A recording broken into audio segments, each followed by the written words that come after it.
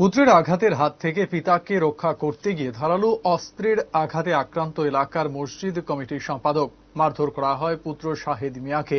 ঘটনার পরপরই ভাঙচুর চালানো হয় পুত্র শাহেদ মিয়ার বাড়ি ঘরে ঘটনা বিশালগড় থানাধীন চরিলাম রাজীব কলোনি এলাকায়। উভয় পক্ষের তরফে থানায় অভিযোগ দায়ের করা হয়েছে। চরিলাম রাজীব কলোনি এলাকার বাসিন্দা জনিক সেলিম মিয়া ও তার ছেলেদের মধ্যে দীর্ঘদিন যাবত জমি সংক্রান্ত বিষয় নিয়ে ঝামেলা চলছিল। ঝামেলার মীমাংসা করার জন্য সালিশি সভা ডাকা হয় শনিবার রাতে। সভায় উপস্থিত ছিলেন এলাকার মসজিদ কমিটির সম্পাদক জাকির হোসেন সহ এলাকার বিশিষ্ট ব্যক্তিরা।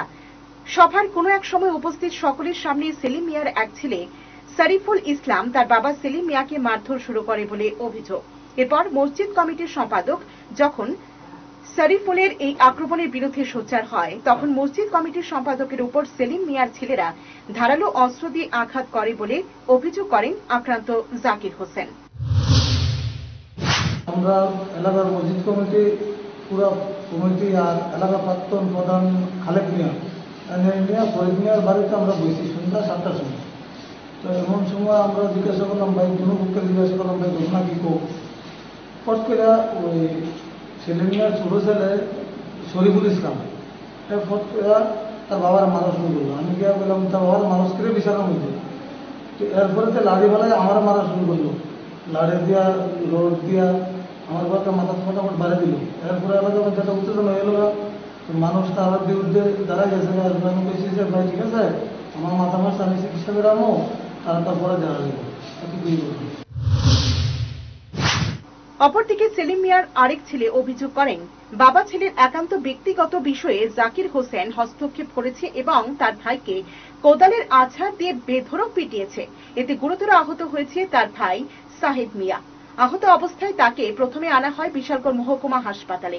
প্রাথমিক চিকিৎসার পর তাকে উন্নত চিকিৎসার জন্য জিবি হাসপাতালে রেফার করে কর্তব্যরত চিকিৎসক। মানে আমরা বাড়ি বাড়ি একটা বিষয় নিয়ে মানে বিচার হয়েছিল। তো বিচারের ভিতরে আমার বড় ভাইতে মানে বাবুর গেছিল মানে বাবু জায়গা এদিক দিয়ে বিছালা, এদিক দিয়ে বিছালা।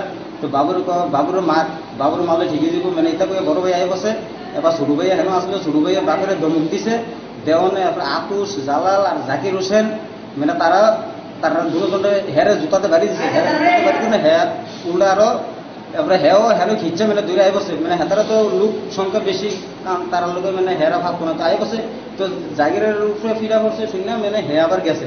হে যাওনে কোতালে আসাতে ফিরা দিয়া মানে হেরে ফিরা দিছে এখন কি তো হয়েছে কইতাম না মানে হে- হেরার থেকে বেরিয়ে আসে তখন লই এসে তোমার কি হয়? আমার বড় ভাই।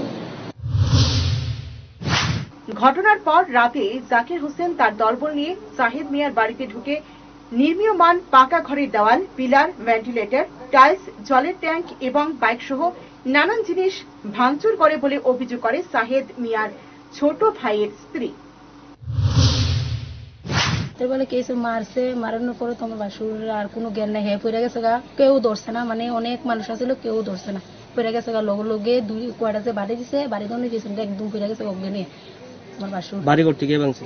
বাড়ি করতে তারা ভাঙছে জাগির শান্ত